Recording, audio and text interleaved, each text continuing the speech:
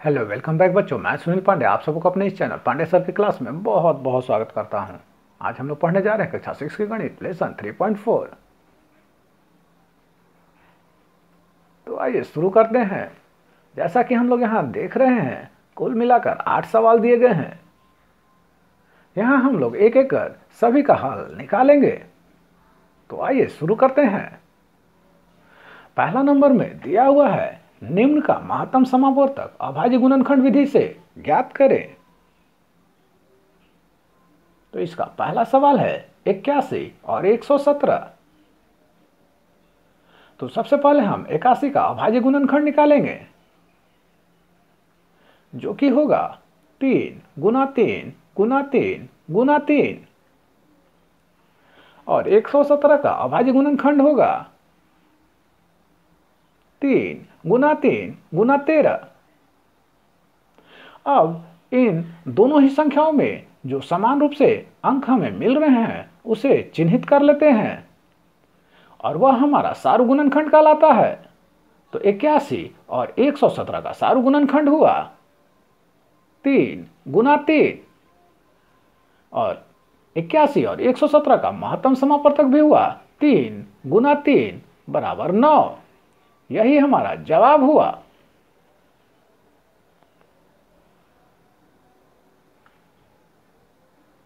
दूसरे नंबर पर है 18 और 48 तो सबसे पहले हम 18 का अभाज्य गुणनखंड निकालेंगे।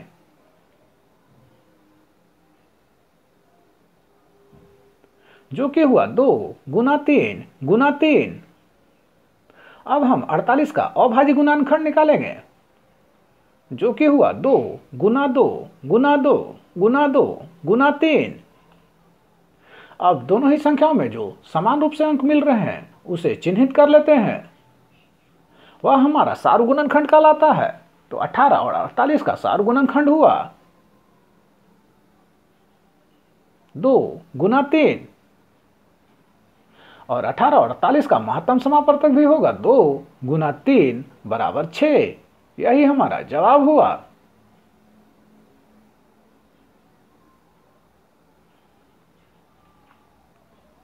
तीसरे नंबर पर है सताइस और तिरसठ। तो सताइस का अभाज्य गुणनखंड हुआ। तीन गुना तीन गुना तीन। और तिरसठ का अभाज्य गुणनखंड हुआ। तीन, गुना तीन, गुना सात। अब दोनों ही संख्याओं में जो समान रूप से अंक मिल रहे हैं, उसे चिन्हित कर लेते हैं। जिसे कि हम सारुगुणन खंड कहते हैं तो सत्ताईस और तिरसठ का सारुगुणन खंड हुआ, तीन, गुना तीन। और महत्तम समापर्तक हुआ, तीन, गुना तीन, बराबर नौ। यही हमारा जवाब हुआ।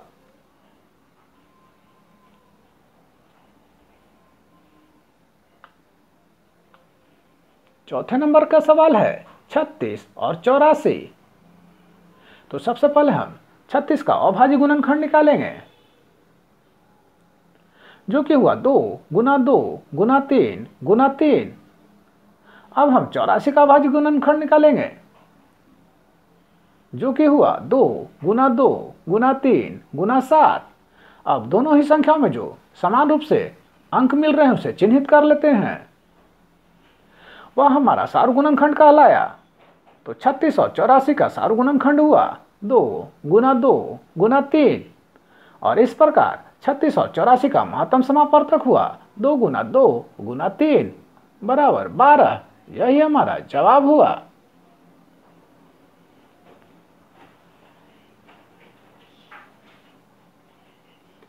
पाँचवें नंबर पर है सत्तर, एक सौ चालीस और दो सौ दस। तो सत्तर का अभाज्य गुणनखंड हुआ। दो गुना पाँच गुना सात और 140 का अभाज्य गुणनखंड हुआ। दो गुना दो गुना पाँच गुना सात और 210 का अभाज्य गुणनखंड हुआ। दो गुना तीन गुना पाँच गुना सात। अब तीनों ही संख्याओं में जो समान रूप से अंक मिल रहे हैं, उसे चिन्हित कर लेते हैं। वही हमारा सार गुणनखंड कहलाया तो सत्तर, एक सौ चालीस और दो सौ दस का सारू गुणनखंड हुआ। दो गुना पाँच गुना सात, और यही हमारा महत्तम समापर्तक होगा। तो सत्तर, एक सौ चालीस और दो सौ दस का महत्तम समापर्तक हुआ। दो गुना पाँच गुना सात, बराबर हुए सत्तर। यही हमारा जवाब हुआ।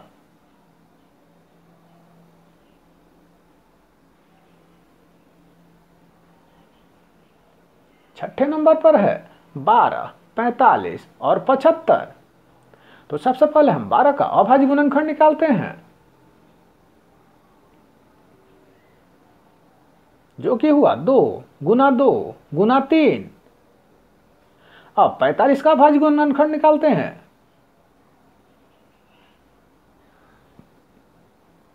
जो कि हुआ दो, सॉरी, तीन गुना तीन गुना पाँच। अब पचहत्तर का अभाज्य गुणनखंड निकालते हैं। जो कि हुआ तीन गुना पाँच गुना पाँच। अब तीनों ही संख्याओं में जो समान रूप से अंक मिल रहे हैं, वह है तीन।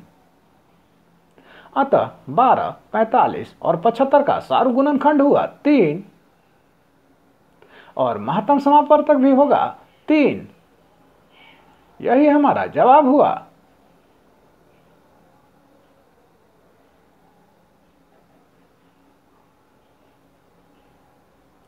सातवें नंबर का सवाल है 120, 144 और 204 तो सबसे पहले हम 120 का अभाज्य गुणनखंड निकालते हैं।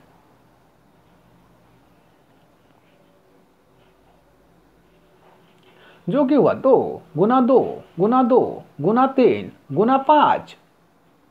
अब हम 144 का अभाज्य गुणनखंड निकालते हैं।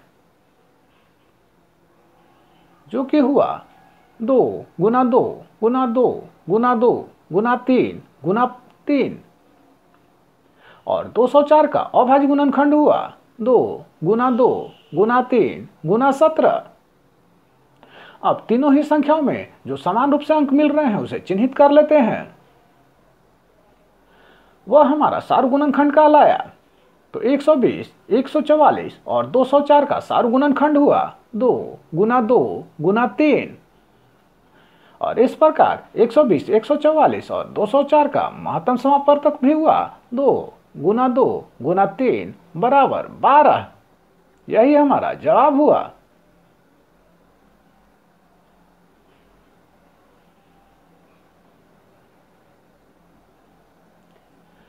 आठवें नंबर का सवाल है 106, एक और दो सौ पैंसठ। तो सबसे पहले 106 का अभाज्य गुणनखंड निकाल लेते हैं। जो कि हुआ, दो गुना तिरपन। अब एक सौ उनसठ का अभाज्य गुणनखंड निकाल लेते हैं। जो कि हुआ, तीन गुना तिरपन। अब हम दो सौ पैंसठ का अभाज्य गुणनखंड निकाल लेते हैं। जो कि हुआ, पाँच गुना तिरपन। अब तीनों ही संख्याओं में जो समान रूप से अंक मिल रहे हैं उसे चिन्हित कर लेते हैं। वही हमारा सार गुणनखंड कहलाया। तो 106, एक सौ उनसठ और दो सौ पैंसठ का सार खंड हुआ तिरपन और महत्तम समावर्तक भी हुआ तिरपन। यही हमारा जवाब हुआ।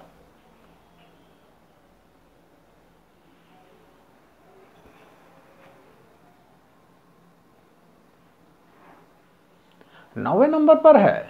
छः सौ पच्चीस, तीन हज़ार एक सौ पच्चीस, पंद्रह हज़ार छः सौ पच्चीस। तो सबसे पहले हम छः सौ पच्चीस का अभाज्य गुणनखंड लिखते हैं। जो कि हुआ पाँच गुना पाँच गुना पाँच गुना पाँच। अब तीन हज़ार एक सौ पच्चीस का अभाज्य गुणनखंड लिखते हैं। जो कि हुआ पाँच गुना पाँच गुना पाँच गुना पाँच गुना पाँच। अब हम पंद्रह हज़ार छह सौ पच्चीस का अभाज्य गुणनखंड लिखते हैं जो कि हुआ पाँच गुना पाँच गुना पाँच गुना पाँच गुना पाँच गुना पाँच। अब तीनों ही संख्याओं में जो समान अंक मिल रहे हैं उसे हम चिन्हित कर लेते हैं। वह हमारा सार गुणनखंड कहलाया। तो 625, 3125 और 15625 का सार गुणनखंड हुआ। पाँच गुना पाँच गुना पाँच गुना पाँच। और इस प्रकार 625, 3125 और 15625 का महत्तम समापर्तक हुआ। पाँच गुना पाँच गुना पाँच गुना पाँच बराबर 625 यही हमारा जवाब हुआ। आइए अब दूसरे नंबर का सवाल देखते हैं। निम्न का महत्तम समापर्तक भाग विधि से ज्ञात करें। तो पहला नंबर में है 300 और 450 तो सबसे पहले हम 300 से 450 को भाग देते हैं। तो शेष बचता है 150 अब उस 150 से 300 को भाग देते हैं। तो दो बार में यह पूरा पूरा कटता है और शेष ज़ीरो हो जाता है। तो 300 और 450 का महत्तम समापर्तक हुआ। 150 यही हमारा जवाब हुआ।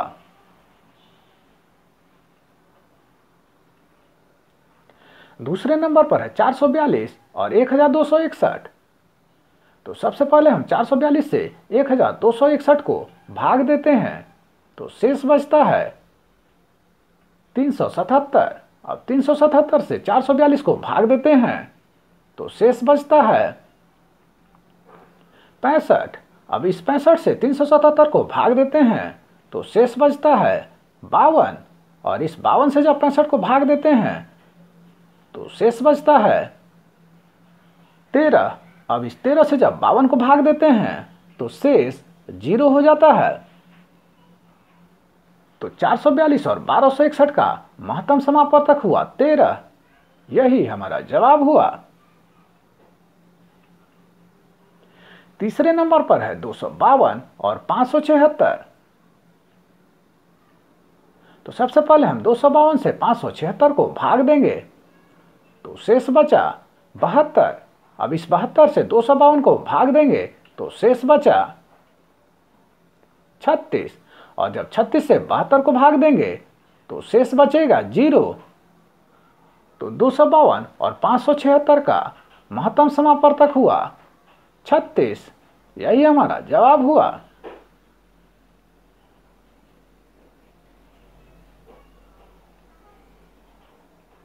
चौथे नंबर पर है 935 और 1320 तो सबसे पहले हम 935 से 1320 को भाग देंगे और शेष बचेगा।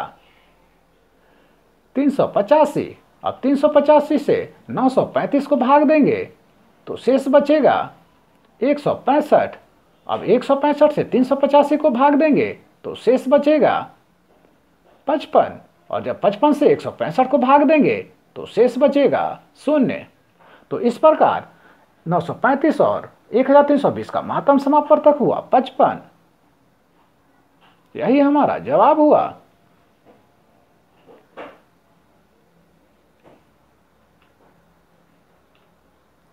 पाँचवें नंबर का सवाल है, एक हज़ार छ सौ चौबीस पाँच सौ बाईस और एक हज़ार दो सौ छिहत्तर। तो सबसे पहले हम पाँच सौ बाईस से एक हज़ार छ सौ चौबीस को भाग देते हैं तो शेष बचता है दो सौ बत्तीस। अब दो सौ बत्तीस से पाँच सौ बाईस को भाग देते हैं तो शेष बचता है अंठावन। और अंठावन से जब 232 को भाग देते हैं तो शेष बचता है शून्य। अब इस अंठावन से बारह सौ छिहत्तर को भाग देते हैं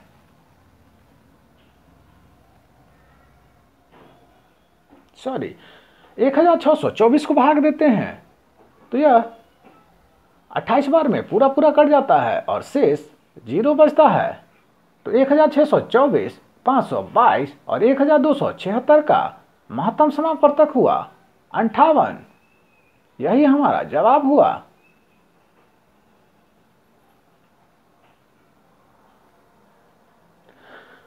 छठे नंबर का सवाल है 2241, 8217 और सात तो सबसे पहले हम 2241 से 8217 को भाग देते हैं। तो शेष बचता है एक हज़ार चार सौ चौरानवे। अब एक सौ हज़ार चार सौ चौरानवे से दो हज़ार दो सौ इकतालीस को भाग देते हैं। तो शेष बचता है सात सौ और जब सात सौ से एक हज़ार चार सौ चौरानवे को भाग देते हैं तो शेष बचता है शून्य। अब उस सात सौ हम सात को भाग देते हैं तो एक बार में यह पूरा पूरा कट जाता है और शेष बचता है शून्य। तो इस प्रकार दो हज़ार दो सौ इकतालीस, आठ हज़ार दो सौ सत्रह और सात सौ का महत्तम समापर्तक हुआ सात सौ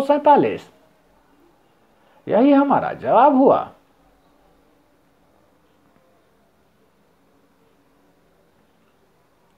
अब तीसरे नंबर का सवाल को देखते हैं। पैंसठ हज़ार छह सौ दस। विभाज्य है सताइस से। तो पैंसठ हज़ार छह सौ दस की दो निकटतम संख्याएँ ज्ञात करें जो सताइस से विभाज्य हों। तो इसके लिए हम पैंसठ हज़ार छह सौ दस में एक बार सताइस को जोड़ देते हैं और एक बार पैंसठ हज़ार छह सौ दस में सताइस को घटा देते हैं। इस प्रकार हमें उसके निकटतम दो संख्याएँ प्राप्त हो जाती हैं। जो कि हुआ पैंसठ हज़ार छह सौ सैंतीस और पैंसठ हज़ार पाँच सौ तिरासी। यही हमारा जवाब हुआ।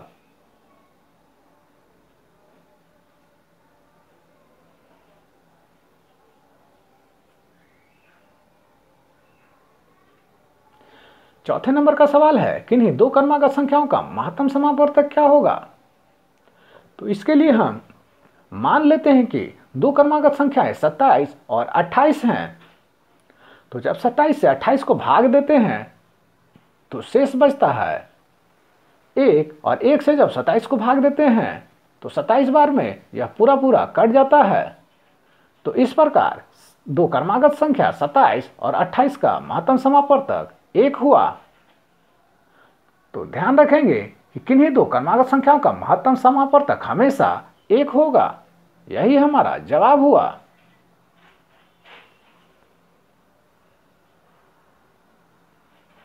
पाँचवें नंबर पर है। दो छोटे टैंकरों में क्रमशः पचासी और अड़सठ लीटर पेट्रोल आता है। उस मापने वाले बर्तन की अधिकतम धारिता ज्ञात करें, जिससे प्रत्येक टैंकर का पेट्रोल पूरा पूरा मापा जा सके। तो सबसे पहले हम पचासी और अड़सठ का महत्तम समापर्तक निकालते हैं। इसके लिए हम अड़सठ से पचासी को भाग देते हैं तो शेष बचता है सत्रह, और सत्रह से जब अड़सठ को भाग देते हैं तो चार बार में यह पूरा पूरा कट जाता है, और शेष बचता है ज़ीरो। तो पचासी और अड़सठ का महत्तम समापर्तक हुआ। सत्रह। तो इस प्रकार बर्तन की अधिकतम धारिता हुई। सत्रह लीटर, यही हमारा जवाब हुआ।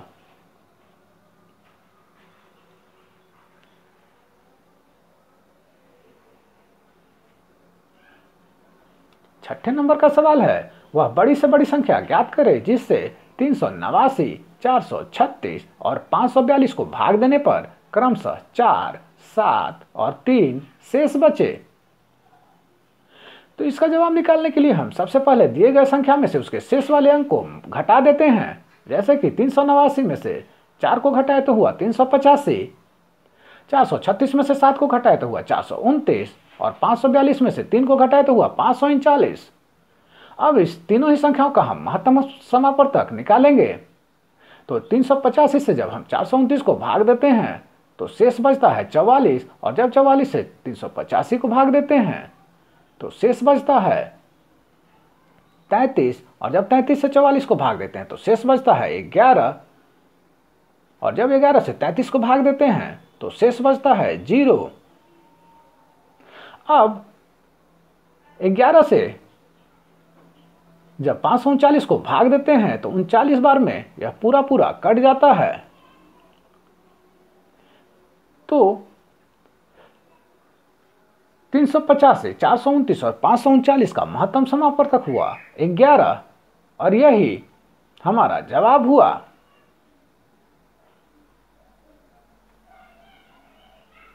तो 11 से जब हम तीन सौ नवासी, चार सौ छत्तीस और पाँच सौ बयालीस को भाग देंगे तो क्रमशः चार, सात और तीन शेष बचेंगे।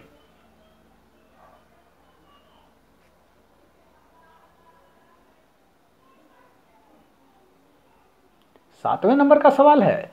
एक विद्यालय की कक्षा में छ सात और आठ में क्रमशः 220, 116 और 132 छात्र हैं।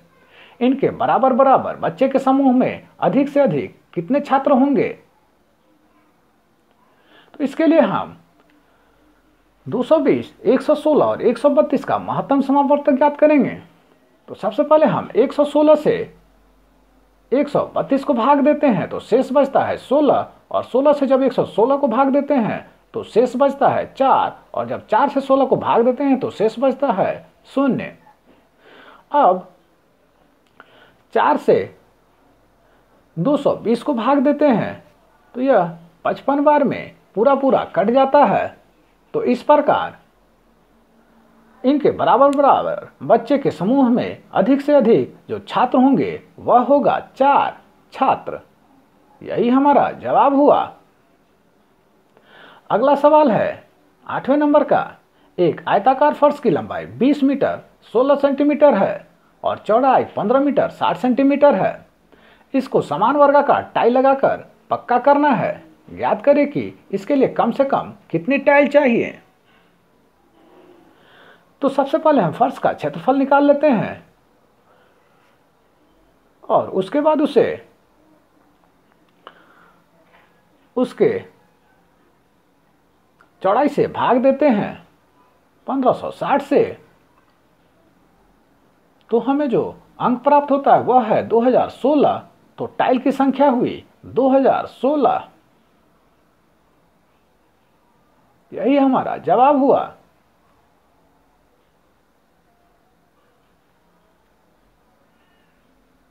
तो आप सबको हमारा प्रयास कैसा लगा हमें ज़रूर कमेंट कर बताएँ। हमारे इस चैनल पांडे सर की क्लास को ज़रूर सब्सक्राइब करें और बेल बटन को दबाएँ ताकि आने वाले वीडियो का नोटिफिकेशन आपको मिलता रहे। दूसरों के साथ ही शेयर करें और हाँ लाइक करना तो बिल्कुल ना भूलें। आपका लाइक करना ही हमारी मेहनत का फल है। धन्यवाद। Thank you